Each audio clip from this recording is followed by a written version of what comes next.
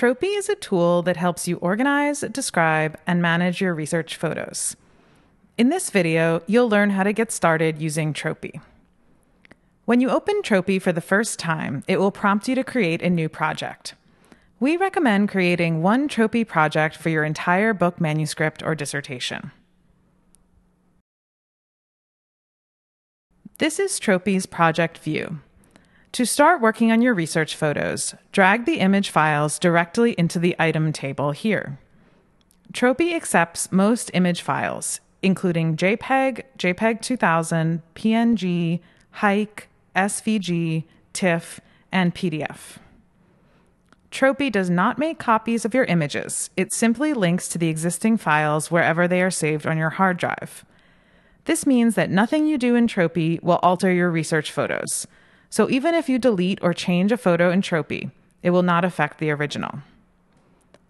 Once you've imported the photos, start adding metadata immediately to make sure you remember where they came from. To switch from list view to grid view and zoom in on the image thumbnails, use the slider on the top left of the screen. You can select multiple photos or select all and bulk edit the metadata on the right side of the screen in the metadata pane. Here you can record the archive, collection, and box or folder number.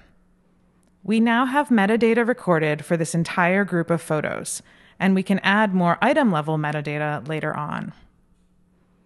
You'll notice that there is a flag in the rights field to encourage you to fill in that information for every single item. Review the rights or permissions document you signed in the archive and enter that information here or you can add a link to the archive's rights policy. This is good research practice that will make things easier later on if you plan to publish your work. Now let's try out a few of Tropy's features. The first is the merge function. This is a multi-page document, which I would like to save as one item, not as six separate photos. To do this, select the images, right-click, and select Merge Selected Items. This is now one item containing multiple images within it. Next, Tropy allows you to edit or rotate multiple photos at once. As you can see, these remaining photos are all rotated to the left, which makes it difficult to read them. Select those images and right click, then select Rotate Right to rotate all of them together in one click. Double click on an item to move into Item View, where you can do photo editing add additional metadata, and take notes on or transcribe your documents. In Item View, Tropy includes basic tools to improve the legibility of your photos. Remember that this isn't changing anything about the original photos. You can rotate the photos or click on the Advanced Tools icon in the top right to adjust brightness, contrast, hue, saturation, or to sharpen or invert colors. You can zoom in on the image or fit the image to the page. You can also transcribe your document or take notes in the notes field below, or move the notes field so that it appears alongside the document. To add more item level metadata, use the metadata pane, which now appears on the left. Enter the document's title, creator, and the date using ISO format, beginning with the year, then the month, and then the day. If you'd like to pull out a small section of a photo, use the selection function.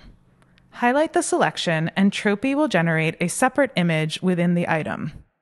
This is particularly useful when working with newspapers or maps. Tropy allows you to create customized tags to organize your materials. In the tag pane, you can create a new tag or select an existing tag.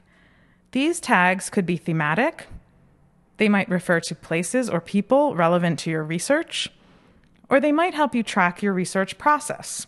For example, you could create a tag for items that have already been transcribed. Assign colors to your tags so that they can be quickly identified.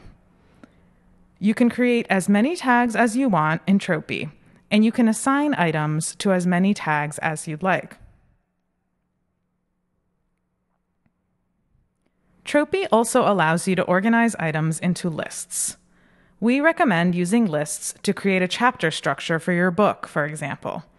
Or you could create thematic lists to keep track of all the items related to a certain topic. You can drag items into as many lists as you want, and note that the items will still appear in your main item table. If you delete the list, the items will not be deleted.